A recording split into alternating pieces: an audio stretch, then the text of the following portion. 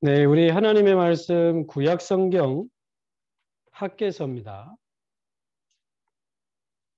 구약 성경 학계서 2장 5절에서 7절입니다. 제가 가진 성경은 구약 성경 1311페이지쯤에 있습니다. 1311페이지 학계서 2장 5절에서 7절 우리 함께 한 목소리로 봉독하겠습니다. 2장 5절에서 7절입니다. 너희가 애굽에서 나올 때에 내가 너희와 언약한 말과 나의 영이 계속하여 너희 가운데 머물러 있나니 너희는 두려워하지 말지어다. 망군의 여호와가 이같이 말하노라. 조금 있으면 내가 하늘과 땅과 바다와 육지를 진동시킬 것이요. 또한 모든 나라를 진동시킬 것이며 모든 나라의 보배가 이르리니 내가 이 성전의 영광이 충만하게 하리라. 망군의 여호와의 말이니라. 아멘. 어, 지난주부터 우리 성전 건축을 위한 특별 기도회가 시작이 됐고 어, 이제 7월 25일부터는 우리 특별 릴레이 금식 기도도 시작이 됩니다. 그래서 오늘까지 우리 연재 가족들이 어, 나는 일주일에 한 끼, 일주일에 한 끼 언제 금식 기도할지 우리 구역장님들께 다 결정해서 말씀해 주시면 오늘까지 우리 권역 전체 그 릴레이 또 명단을 정리해서 교회 어, 제출하고 전교인이 성전 건축을 위해서 어, 특별 새벽 기도를 이어서 또 25일부터는 특별 릴레이 금식 기도도 하게 됩니다. 그래서 어, 당분간 이 수요 예배는 뭐 특별한 메시지를 하기보다는 요즘 특별 새벽 기도회 때 주시는 메시지들이 지금 계속 우리에게 언약으로 지금 주어지고 있기 때문에 그 중에 가장 중요한 우리가 절대 놓치면 안 되는 언약들을 붙잡으면 좋겠습니다. 어, 하나님은 저와 여러분을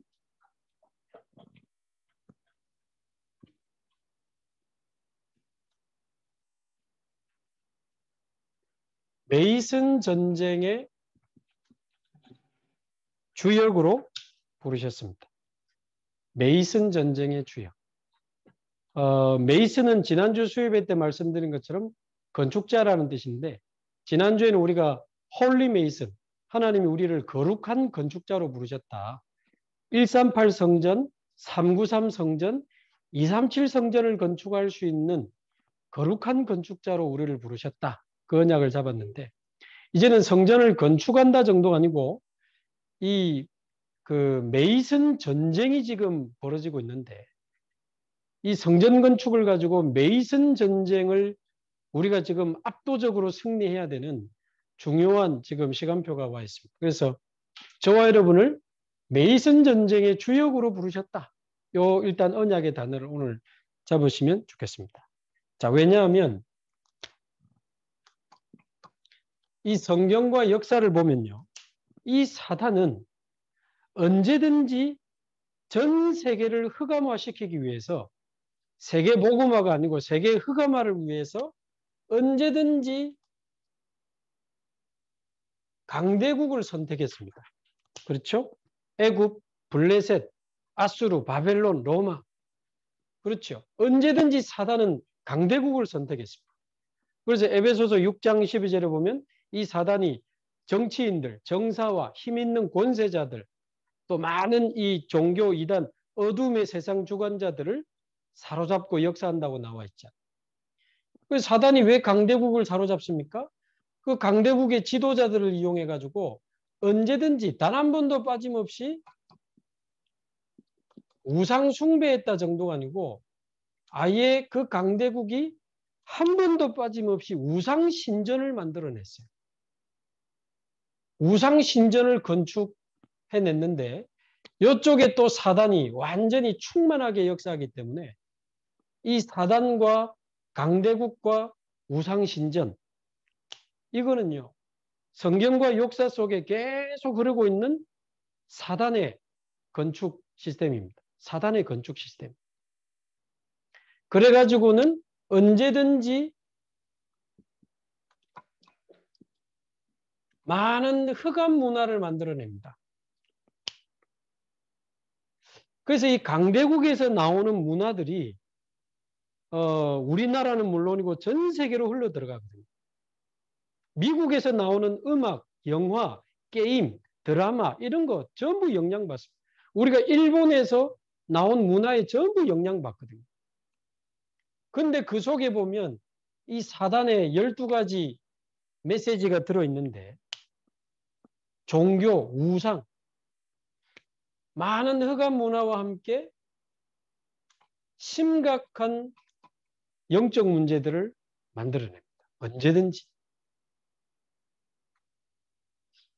어, 그래서 지금 저는 오늘도 청소년 사회 가는 교육자 한 명하고 잠시 좀 교제를 나누면서 지금 이 사단이 3단체를 이용해서 어마어마한 문화들을 막 쏟아내거든요.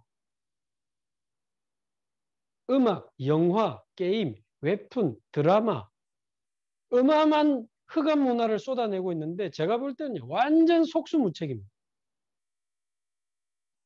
그래서 복음으로 지금 쏟아져 나오고 있는 이 문화를 복음으로 문화를 재해석해 주는 사역이 지금 우리 다락방 안에 너무 부족해요.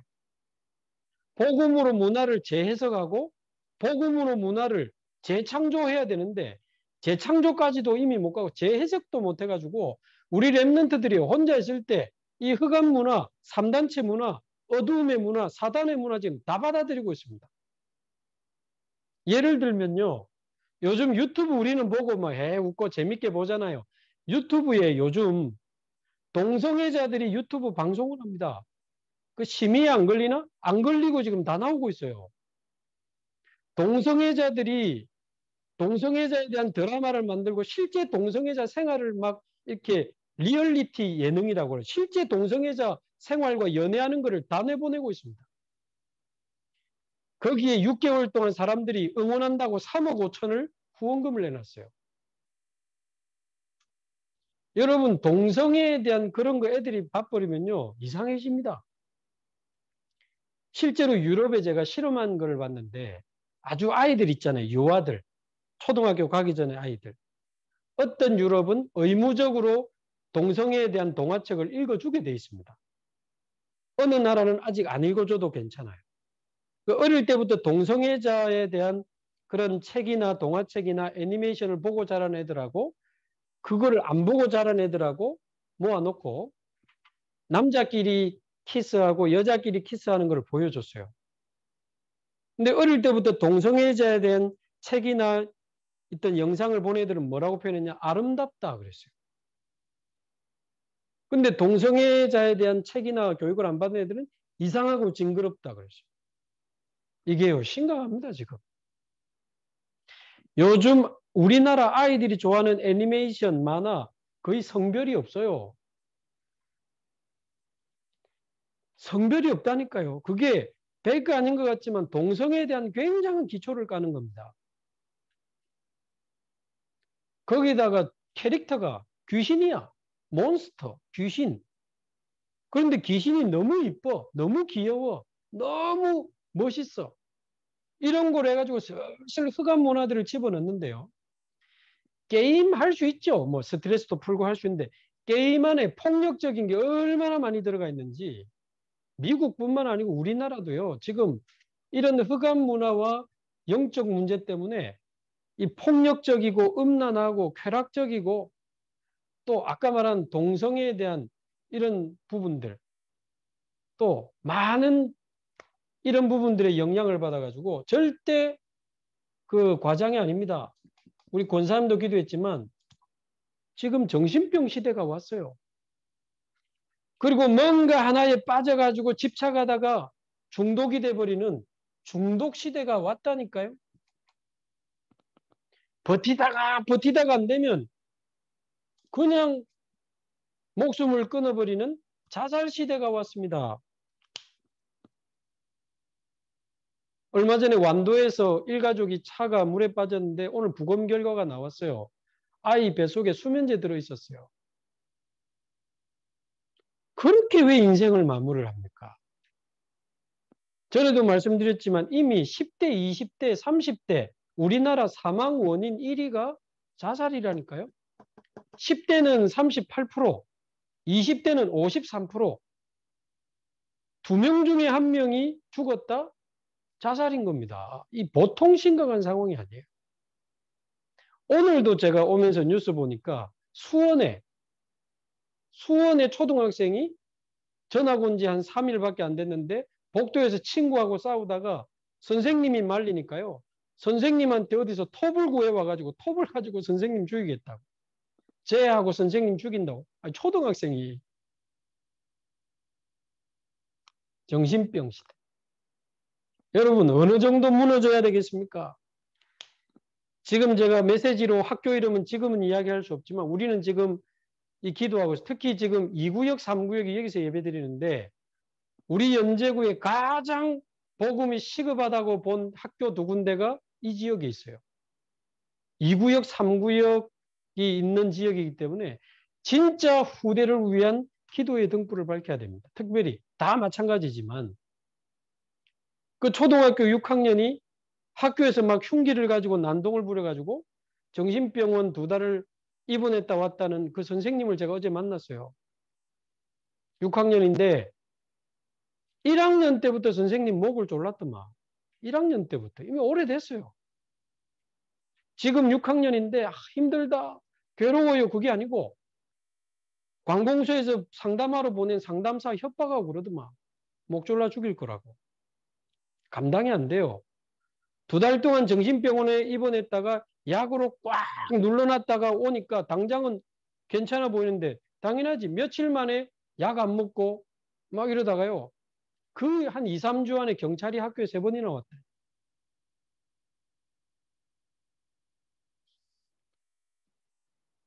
무슨 영화, 영화 이야기가 아니고 우리 동네 이야기라니까, 우리 동네 이야기. 문제는 나중에 말씀드리겠지만 더 심해진다는데 문제가 있습니다. 앞으로 더 심해질 겁니다. 그저 어제 그 선생님한테 간절히 이야기했어요. 얘는 내가 볼 때 마지막 기회다. 6학년이면 중학교 가면 끝이다. 얘는. 이미 부모님 이혼하고 부모님도 아버지도 분노 조절 장애에 막 이게 막 화를 참지 못하고요. 어머니는 또 무슨 사고로 하반신 또 못 쓰는 상황에 있고 얘가 막 어머니한테 갔다가 아버지한테 갔다 왔다 갔다 하는데 감당이 안 돼요.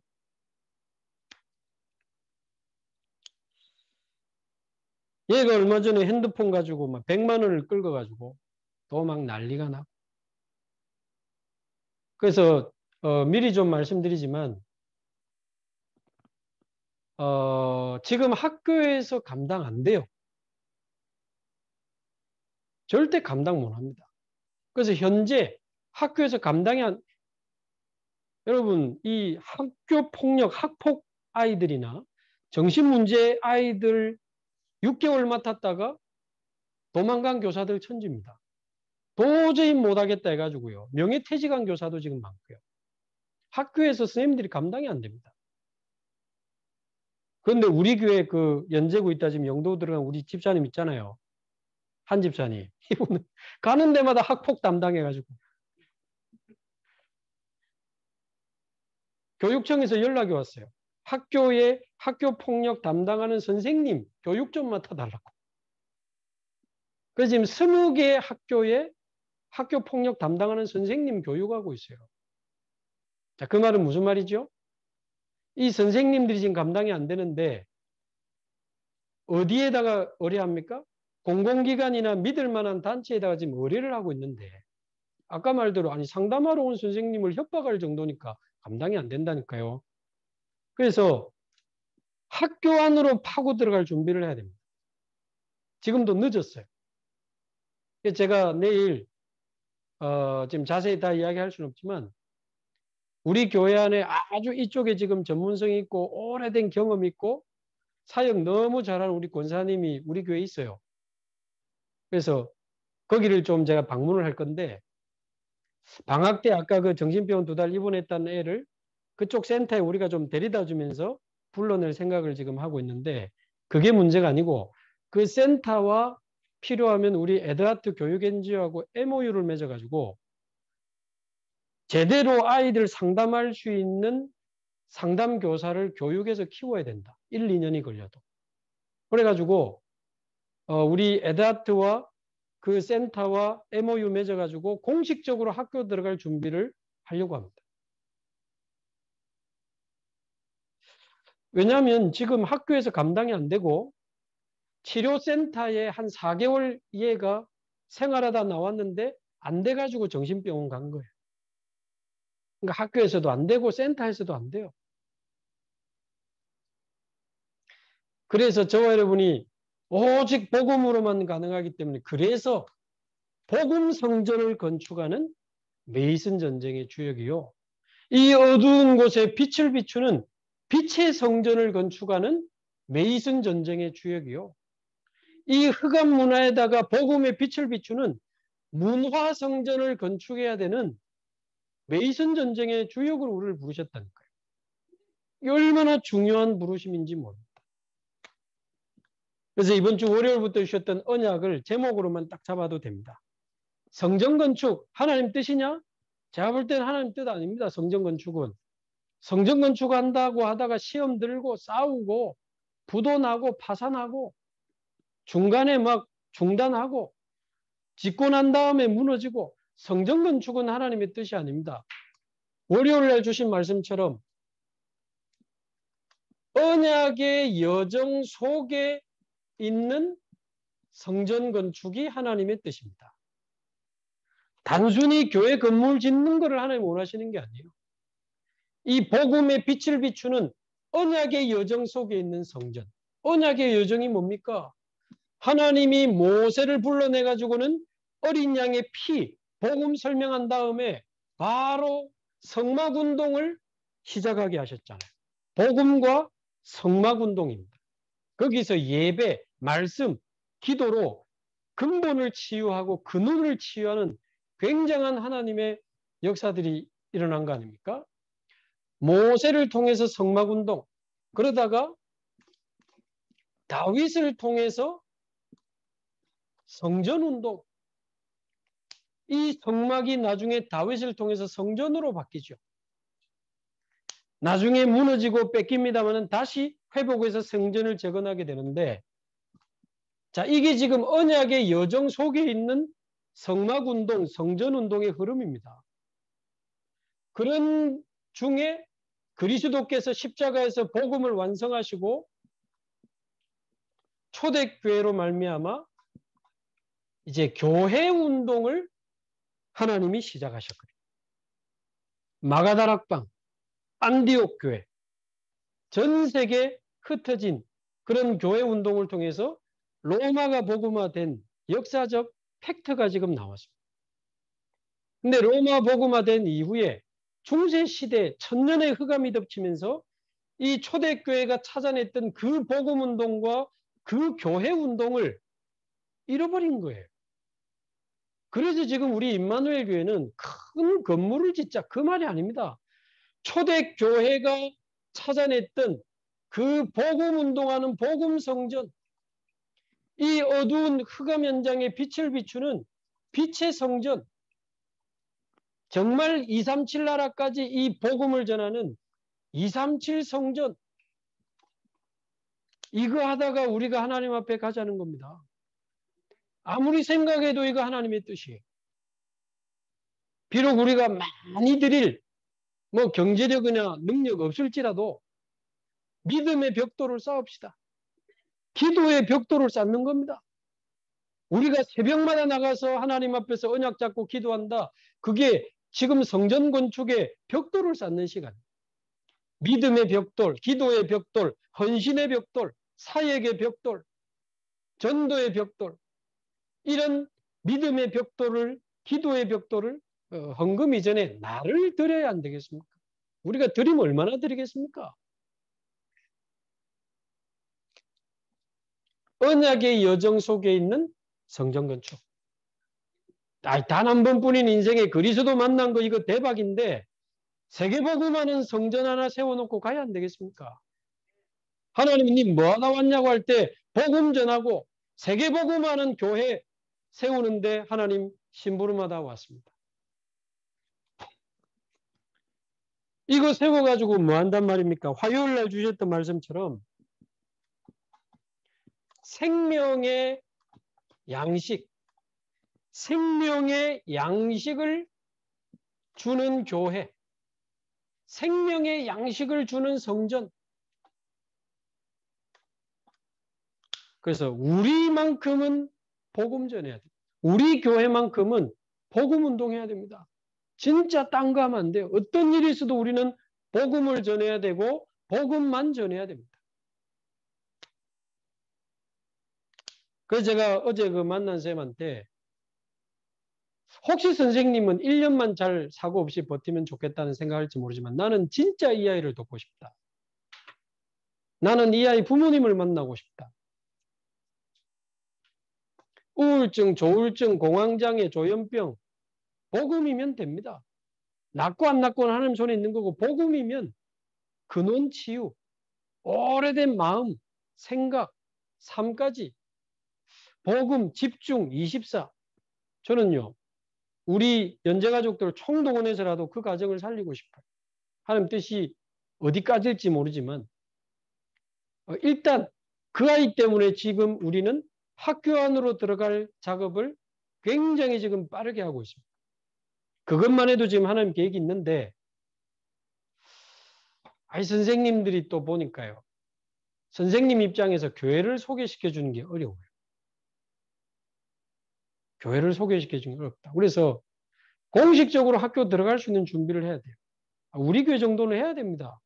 이거는 연제구에서 속닥속닥 할 게 아니고 준비해가지고 에드하트와 교회 지도 받아가지고 이거 제대로 준비하면 부산 전체 학교 들어갈 수 있는 거예요.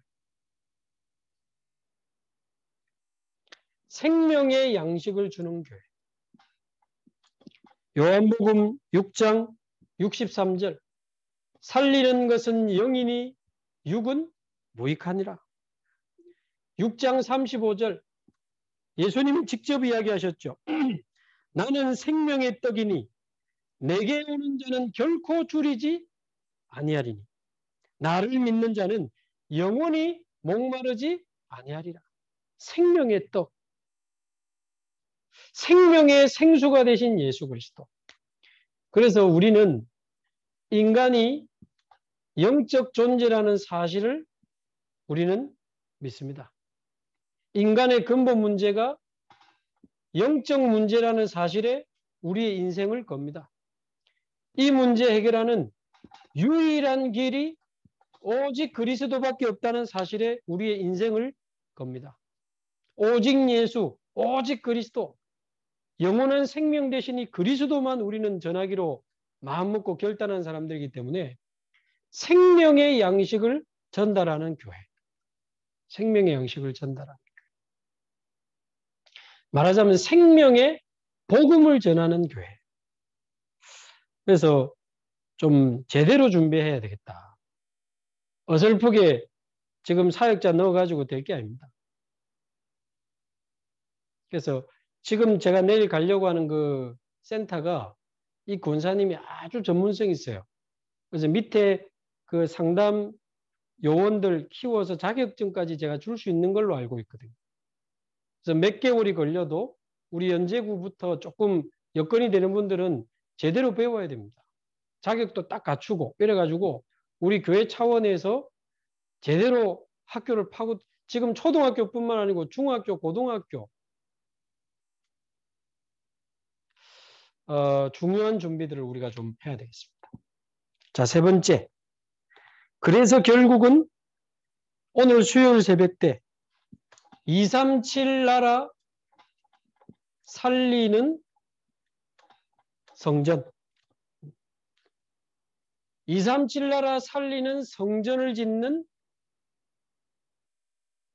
Holy Mason 그런 Mason 전쟁의 주역으로 우리를 부르신 겁니다. 얼마나 감사합니까? 왜 성전이 무너지게 하셨습니까? 왜 솔로몬 성전이, 왜 헤롯 성전이 무너지게 하셨습니까? 복음이 없는 것은 물론이요. 이 세 가지 뜰이 없었다 그 말이죠. 공간은 있어도 실제 내용이 없었어요. 이방인의 뜰, 다민족 살릴 수 있는 다민족의 뜰이 저와 여러분의 마음과 현장에 회복돼야 됩니다. 기도의 뜰은 뭡니까? 병든 자들을 치유할 수 있는 병든 자들의 뜰이 우리 마음과 현장에 회복돼야 돼요. 진짜 해야 됩니다. 어제 그 쌤한테 나는 그 아버지가 마음 연다면 아버지 매일 만날 마음도 있다. 아이도 진짜 우리가 돕고 싶은데 문제는 이제 어느 정도 하나님의 시간표가 있냐인데 우리 특별히 연제구에서 다 기도해야 되지만 이 구역 식구들은요 완전히 기도해 주셔야 됩니다. 이 지역에 있는 지금 학교 거기다가 아이들의 뜰 후대들이 몰려올 수 있는 후대들의 뜰이 우리 마음과 현장의 회복이 돼야 됩니다. 237 성전 그래서 우리가 늘 기도하는 대로 237 나라 살리는 237 성전 얼마든지 가능합니다. 제가 이래봬도 이번 주 월요일에는 뉴욕 전도학교를 하고 오늘 아침에는 워싱턴 전도학교를 하고 왔습니다. 우리 연제구 보고마와 동시에 뉴욕, 뉴저지, 필라델피아, 워싱턴 237 나라에 계속 생명의 복음을 내보내는 겁니다.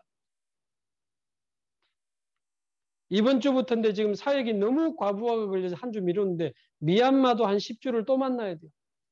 스리랑카, 인도, 우크라이나, 일본 전 세계가 복음을 기다리고 있습니다. 스리랑카, 인도 목사님들 지난번에 할 때 사실 우리 강 집사님한테 제가 한번 포럼을 부탁해 인생 포럼 해주셔가지고 그래도 우리 강 집사님이 스리랑카, 인도 목사님들 인데서 줌으로 인생 포럼 했다. 자, 그 말은 우리 현재 식구들이 다 일어나서 237 나라 살려야 됩니다.